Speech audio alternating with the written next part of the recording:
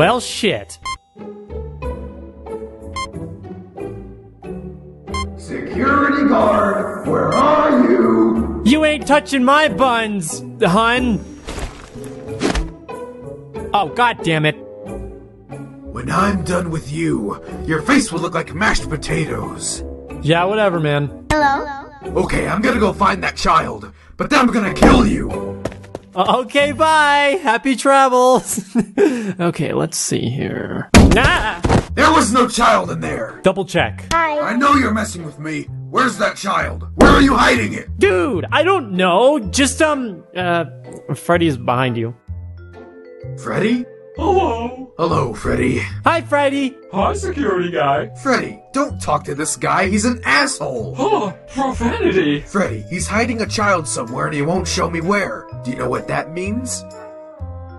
We can't throw a birthday party, Freddy. No. Yes, we need to find him, Freddy. He wants birthday cake. I'll do my best, ma'am. Stop reading fanfics. They're confusing you.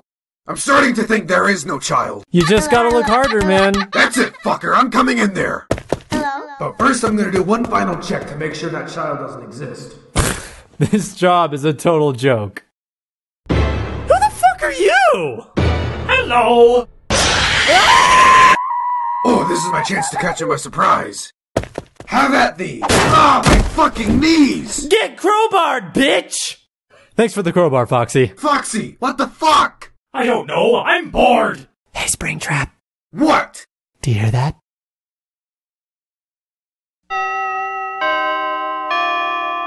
Oh, go fuck yourself.